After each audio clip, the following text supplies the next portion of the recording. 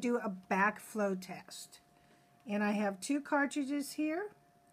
One of them has this guard, this backflow guard. It's actually patented. It's like a shock on a car. And then the other one, um, you can see springs inside here. Okay, so now we're going to just um, take a little color here. Hope you can see this. And I'm going to put in some color here. And uh, I'm going to, this is the needle action, right? And there you go. You see that puddle? That is going to go clear back into the insertion point with access to the motor of that cartridge. That's pretty dramatic. So I'm going to draw your attention now to these three um, cartridges that go in machines. These are microneedling cartridges. This first one is a Skinmaster. You'll notice it has a vent here, a hole that comes out of the top. Okay, right there. And you'll notice it has sort of a, a spiral sleeve here, like a shock absorber. Here's another one. This one is a microneedle. It has a short stem and you can see the coils inside there. Here's a third one. Neither of these two have vents on them. And uh, this one is a little longer stem. And it's going, uh, it has that spring. It's run by the rotary engine motor. Okay. So let's, I'm going to do a little backflow test with some pigment. So this one has just a bunch of real fine needles. I'm going to add some color that I've liquefied pretty much here. And I'm going to just fill it up.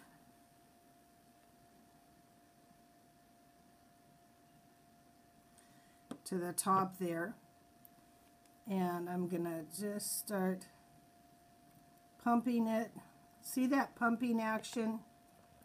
How that color goes down and down and down whoa that's coming out the bottom okay well we don't like that that my friends is called backflow that is backflow okay so now we're going to try the second one.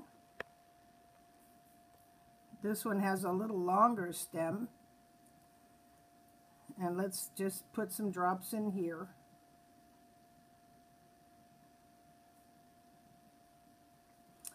There we go. To see what happens with this pumping action. You can see how it sucks it backward. Whoa! That is serious backflow. Man. Okay. Okay, so we're going to check this cartridge that has a vent here and it has the spiral sleeve here um, which is patented actually to try to prevent backflow which is the blood and body fluids or pigment or a mixture from coming back out the back end and entering the machine. That can be very dangerous um, because you can get cross-contamination of bloodborne pathogens between clients or patients. So I'm going to fill this here. Okay, and I'm going to put my finger over the vent because the pigment, the vent is, an, is another uh, safeguard. So now I'm just going to pump this and you'll see the pumping action down. It'll, it'll pump it down. And down it goes because it's like a pump.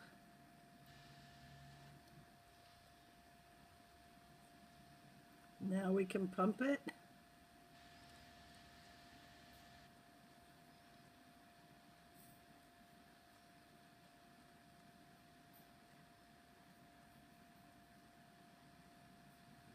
And as you can see, there's no backflow. So compared to the other two cartridges, you can see how the backflow has gone clear out down the stems that fit into the motor arm of the machine and you could get cross contamination between patients and clients. Thank you very much. Thank you.